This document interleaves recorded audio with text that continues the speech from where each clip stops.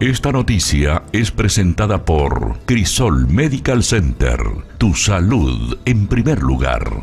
La Cámara de Casas Ópticas de Itapúa busca concienciar sobre la venta ilegal de anteojos sin recetas y el uso de las mismas. Esperan el aval de la séptima región sanitaria. Así como estás diciendo, sin, sin lugar a dudas, es, eso es lo que deseamos en la Cámara Óptica.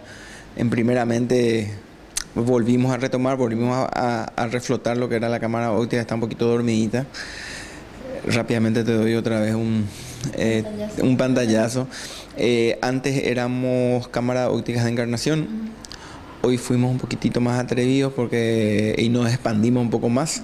Eh, formamos la cámara de casas de ópticas de, de, Itapúa, teniendo en cuenta que tengo, tenemos colegas en la zona de Juanao, ya en Capitán Miranda y en la zona María Auxiliadora. Y obviamente, así como vos dijiste, eh, estamos en nuestra lucha diaria, en nuestra lucha de todos los días, el hecho de eh, eh, la pelea con la informalidad de, los lentes tanto solares o los pregraduados y lo más preocupante los lentes de contacto que están vendiendo que no venden en casas, en, en ópticas, ¿verdad? Que venden informalmente y eso nos preocupa mucho a nosotros y, y básicamente lo que eh, pedimos y deseamos con nuestras autoridades el apoyo para la lucha contra esos tipos, esos tipos de ventas ilegales, porque eh, acá al fin y al cabo el que sale perjudicado es el consumidor el que sale es la gente.